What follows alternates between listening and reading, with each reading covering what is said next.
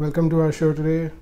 Uh, today we're going to talk to Mr. Rohit from AQI India, and uh, we get to know about the air pollution monitors which they're setting up. Uh, nice to have you on our show today. Thank you for having me. Yeah, we've I've got one of the monitors set up at my office too, and uh, yeah, it's we just saw the pollution at this office right here, the AQI office.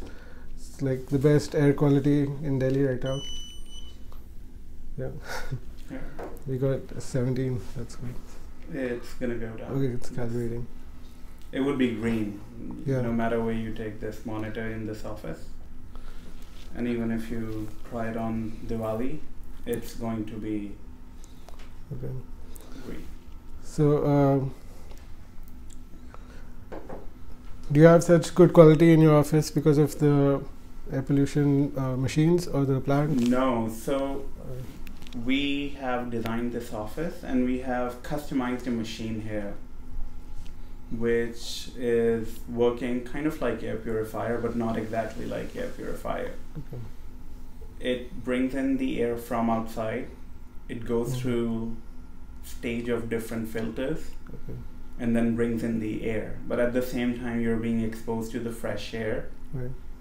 You're getting fresh air inside Mhm. the office so the CO2 levels which people don't usually know and don't Mhm. talk about CO2 is pretty Mhm. low as well in this office it should be less than 800 Okay. in your offices and less than 600 Yeah. in your house where you sleep and we try to maintain a CO2 level of less than 600 even when you have Okay. 20 30 people inside the office Uh, can you tell us about the monitor, like the AQI monitor? What all data does it show us? so these are the monitors that we have placed around the india Yeah. all the monitors which are inside the country Yeah. are being placed by our people from this office. It's a very basic monitor, a small device that tells you about particulate matter 2.5 Mhm. along with temperature, humidity, and noise. A lot of people ask us why are you putting the noise in Yeah. the monitors. Noise basically gives us an idea of traffic Yeah. we can correlate the traffic with the particulate matter Okay. and get a better picture of why it's Yeah. happening. And this has a SIM card inside, so it does Mhm. not really need a Wi Fi connection. So, regardless of where you place in the country, it has a GPS module. Yeah. So, you just plug it in the power, and we start getting the data on the map. Yeah. And uh, right now you're setting them up for free. They are all for free. All every single monitor. We have not charged a single penny from anyone. They're all there for free. Diwali, you got a really high reading, right? We got a high reading from multiple. It went over So- 2000. It went to 2000, 3000, in Mm. fact 3500 if I remember. That was in Vikaspuri. Okay. And then Mm. how we validate the data is we use a triangulation method Okay. where yeah. we take we draw a triangle Okay. Like best that. of three or something. And then we see like if the sensor has not drifted Okay. or it's giving the real value. So we had South Delhi did pretty good in terms of pollution Mm. when it was Diwali. And it was not just one sensor which was showing lower values. All the Mm. sensors which were there, Yeah. they were giving us pretty decent val not lower values when you would compare it with North Delhi or East Delhi. Yeah. Approximately how many sensors are there in Delhi?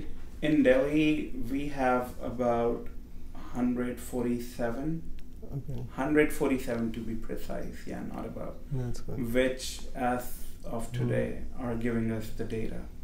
and we Mm. plan, our aim is to have more than 1,000 in a city. We must have thought about what could be the best solutions to reduce pollution. I mean, we talk about it in schools and in the papers, but what would be the most uh, optimum ideas to go for? I mean, this kind of question people should ask the policymakers. Yeah. We can just protect from the pollution. We cannot Yeah. really reduce Mm. the pollution by ourselves. I mean, we can stop buying cars which are using diesel as a fuel. We can buy electric car. I drive an electric car, Okay. Mahindra, Yeah. but people are not willing to give up diesel for an electric Yeah. car. Yeah, and policymakers should be the one who should really Mm. take a pledge to reduce the pollution. Yeah. Do you have any uh, piece of advice for the viewers? Yeah, definitely. it's Yeah. Happening. It's not something that people say, oh, we're going to die early.